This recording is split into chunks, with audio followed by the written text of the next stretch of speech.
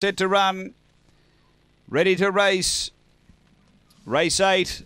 Here at Angle Park on their way. Joker Jake out quickly is going to bustle through and look for the front. Stick figure out wider, pushing on. They go to the first turn. Joker Jake had the lead. Destiny Wahoo railing up and three out. Stick figure chiming in. Uh, then came Runkle. A couple away is Dinah Peanut. Next cash for Jam and Bit Saucy down the back. Stick figures racing up, taking the lead here from Joker Jake. Uh, then Runkle from Destiny Wahoo. Next is Dinah Peanut straightening it. Stick figure clear. Going well the favourite. Clear of Joker Jake. Jake and Stick Figure beats Joker Jake. Runkle next and then Dinah Peanut. Uh, behind those we had Destiny Wahoo, Cash for Jam and Bit Saucy back at the tail. The time here is around 30 and 10